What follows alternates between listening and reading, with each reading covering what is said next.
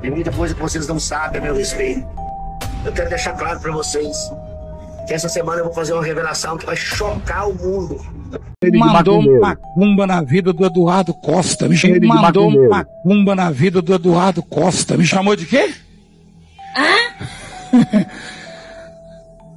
eu vou ser sincero pra você. Primeiro que eu não sou macumbeiro, né?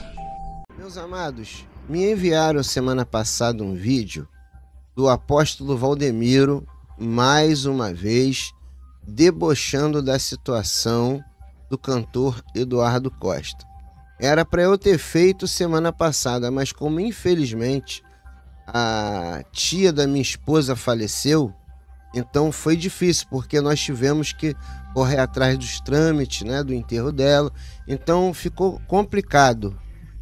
Fora as outras coisas que a gente tem que resolver da tia dela, porque a tia dela não tinha filho, era uma senhora solteira, então e a minha esposa era meio que responsável dela.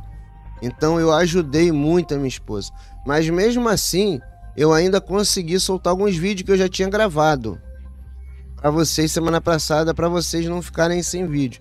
Então nesse vídeo aqui de hoje, eu vou mostrar para vocês esse vídeo que eu falei do apóstolo Valdemiro Santiago, mais uma vez debochando da situação da magreza do cantor Eduardo Costa. E gostaria de saber o que que você acha. Em sequência, depois eu vou mostrar a resposta do Eduardo Costa pro apóstolo Valdemiro. Porque quem não entende, um pingueleta, né, pessoal? Mas olha, por favor, deixa aquele likeão maroto para abençoar esse meu trabalho aqui. Se inscreve nesse humilde canal, pessoal. Tá bom? Ativa o sino. E, olha, comenta aí, comenta. Tá bom? Deus abençoe a sua vida. Muito obrigado aí pela compreensão. Fiquem com Deus. Até um próximo vídeo e fui! Ele mandou um macumba na vida do Eduardo Costa. Me chamou, mandou um macumba na vida do Eduardo Costa. Me chamou de quê? Hã?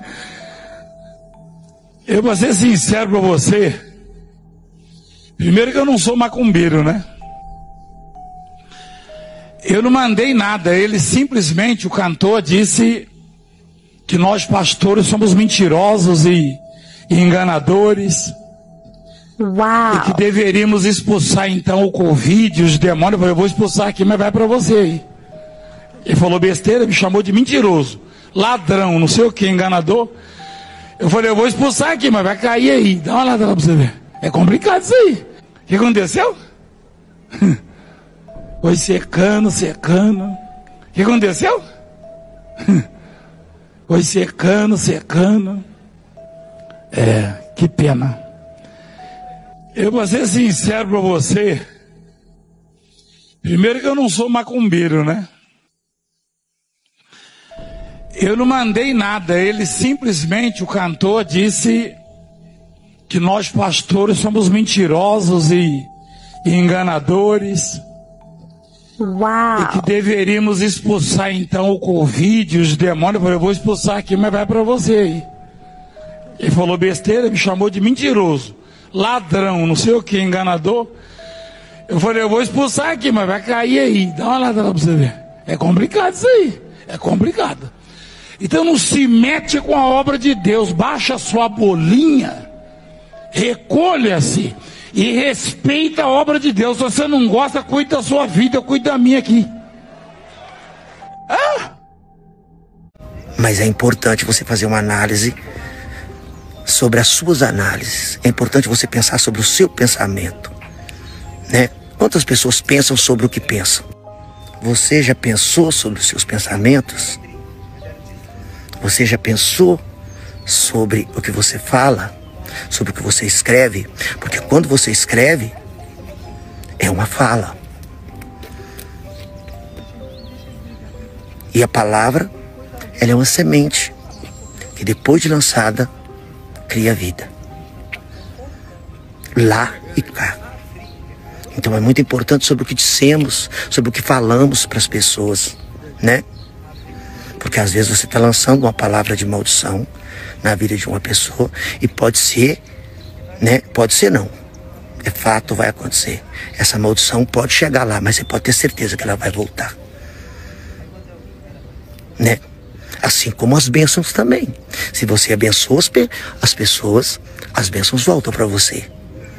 Né? Ninguém planta milho e colhe arroz. Não é verdade? Então, quando você fala alguma coisa, se essa coisa for boa, você pode ter certeza que você vai colher o bem. Se isso for palavra de maldição, você pode ter certeza que a maldição vai chegar na tua vida também. A gente não tem que julgar e nem lançar a nossa maldição. Porque você não pode plantar arroz e colher milho. Ninguém planta flores e colhe espinho. Ah, mas as rosas têm espinhos. Então tem. Mas eles não foram feitos para poder te espinhar, para poder te machucar. Se você souber lidar com eles, se é isso, o respeito é isso. Tem os espinhos, mas eu vou saber lidar com, com eles e vou fazer com que isso não me causa nenhuma ferida, né?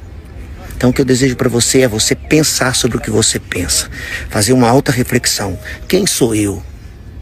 Qual a minha missão?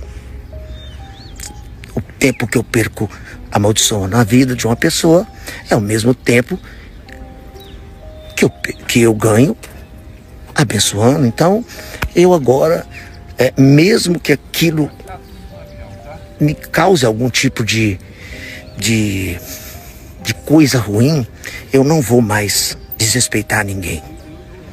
Então é isso, né? Falei demais, mas eu quero que você raciocine sobre os seus raciocínios. Eu quero que você pense sobre o seu pensamento. Eu quero que você analise o seu comportamento. E mais do que isso, entrega sua vida na mão de Deus